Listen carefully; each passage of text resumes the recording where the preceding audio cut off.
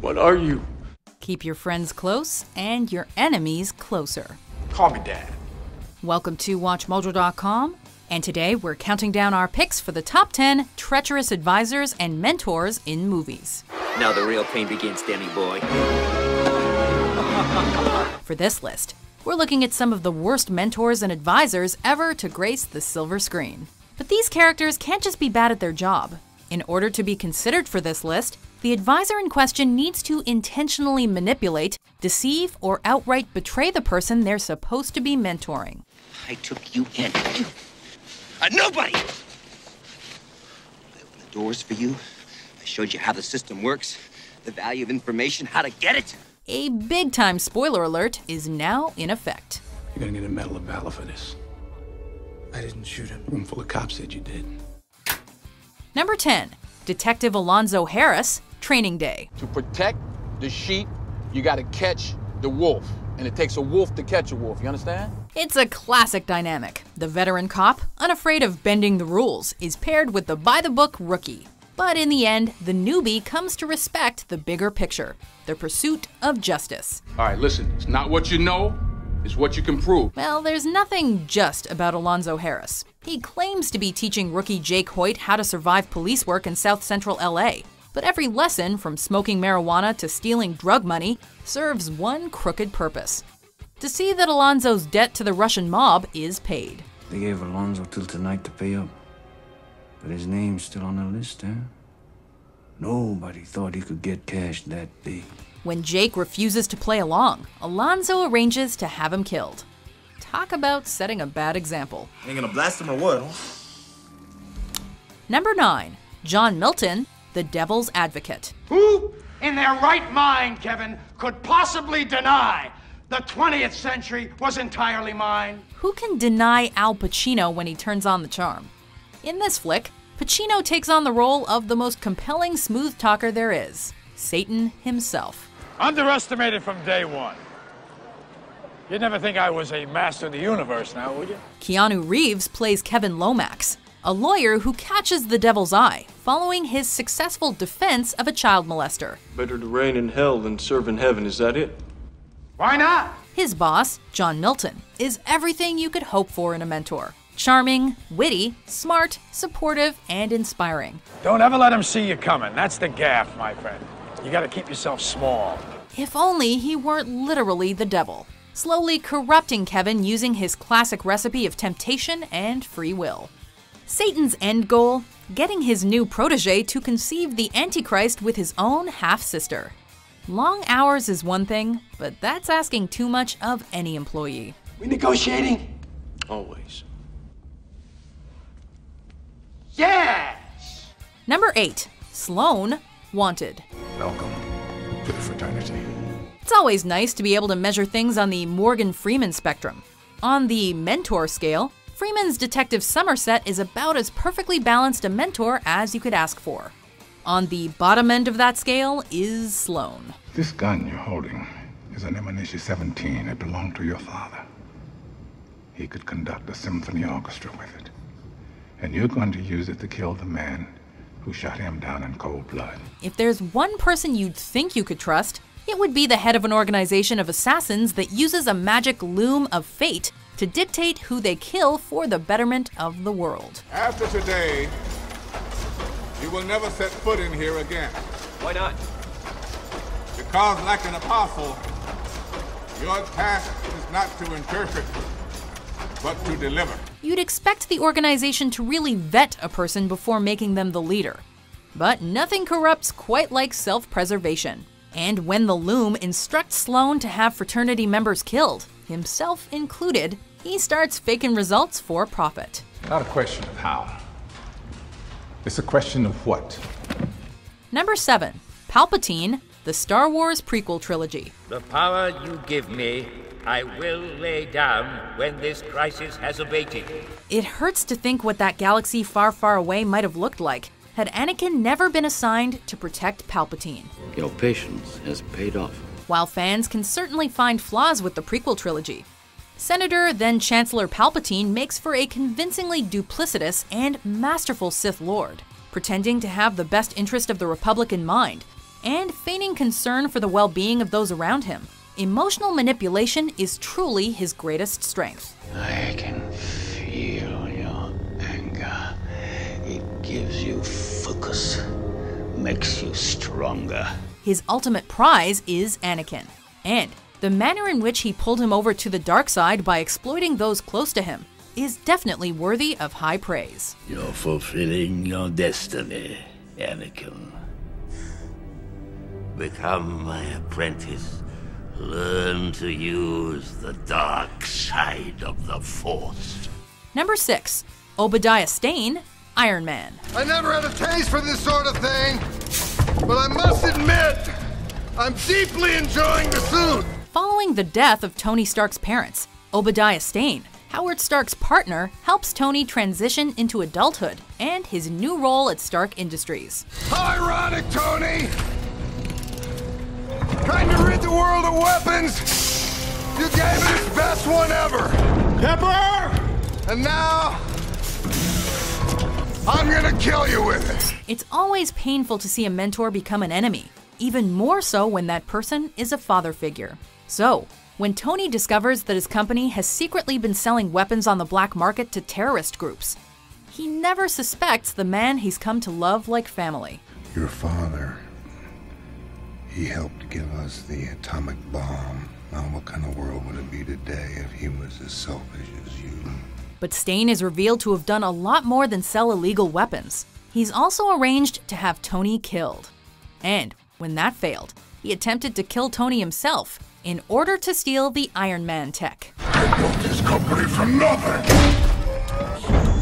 And nothing is gonna stand in my way. Number 5.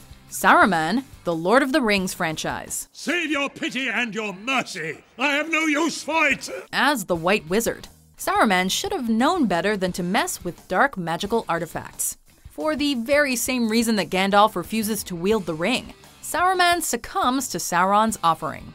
We must join with him, Gandalf. We must join with Sauron. As the leader of the Council of Wizards, he's considered to be one of the wisest, most respected, and most trusted figures in all of Middle Earth. So we can forgive Gandalf for not seeing through his deception. Together, my lord Sauron, we shall rule this Middle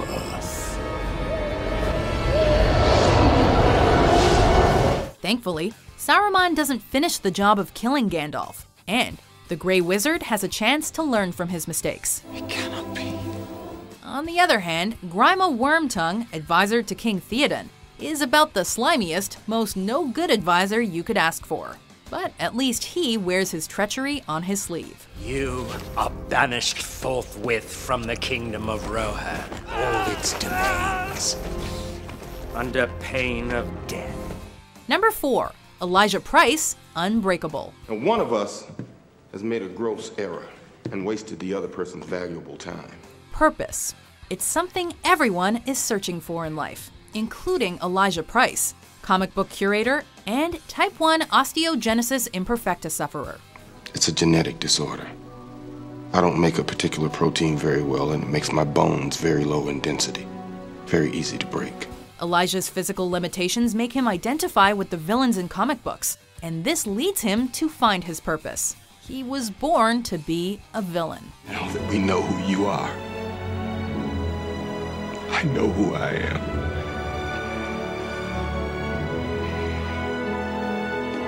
I'm not a mistake.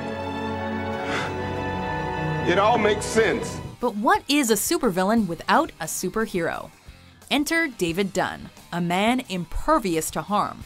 Elijah encourages David to become the hero he's meant to be, and despite some initial trepidation, David eventually follows his new friend's advice. Great. Elijah hasn't just met his match, he's actively created him, crafting a foe out of a friend. What David understands as encouragement is actually Elijah's attempt to turn him into his personal nemesis. You know what the scariest thing is? To not know your place in this world. To not know why you're here. Number 3. Jafar, Aladdin. How many times do I have to kill you, boy? Who's more trusting of others than children? For kids in the 90s at least, it seems safe to assume that Jafar probably taught them their first lesson in betrayal. Are you afraid to fight me yourself, you cowardly snake? A snake, am I? Perhaps you'd like to see how snake-like I can be. He is so transparently evil that only someone so blissfully unaware and naive as the Sultan could have not seen it coming. Come to think of it, the Sultan kind of acts like a child. So maybe Jafar was his first lesson in deception too. Splendid, absolutely marvelous. Jafar is the definition of conniving, evil, and slimy, all wrapped in one. He'll stop at nothing to wrestle control of Agrabah from the poor Sultan, who sadly never sees the betrayal coming. But you're so old. The princess will marry me. Number 2. Gordon Gekko, Wall Street. Greed, for lack of a better word, is good. Power is rarely held by those who prioritize the well being of others. It's a simple truth that Bud Fox, played by Charlie Sheen, probably wishes he'd known before he got involved with legendary Wall Street figure Gordon Gekko. He's learning, huh? What he's learning.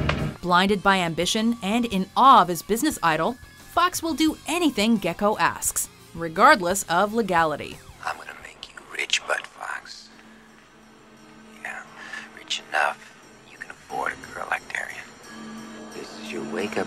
Wake-up call, pal.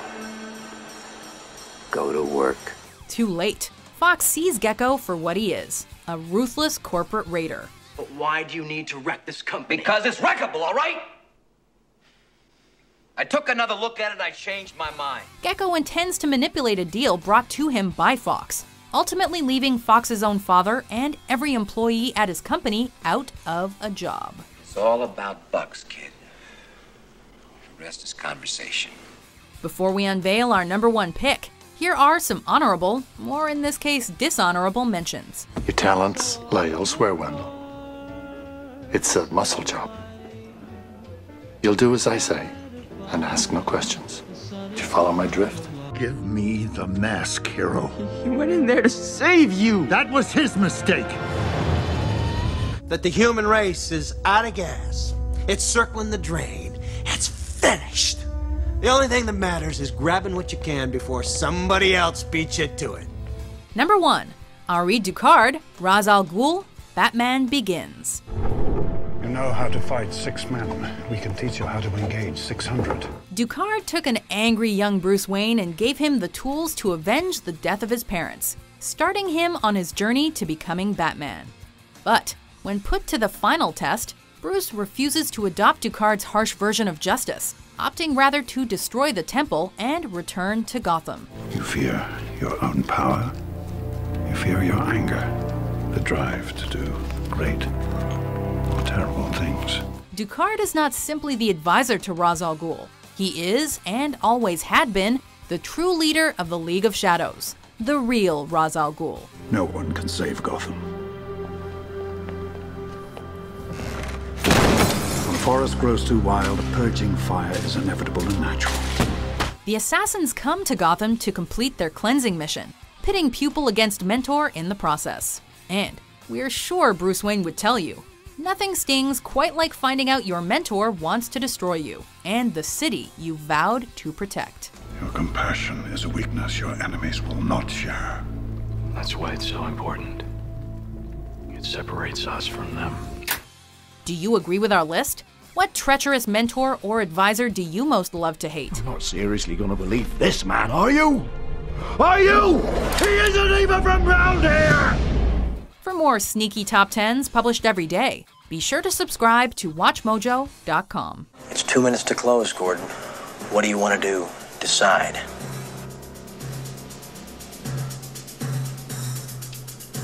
Dump it.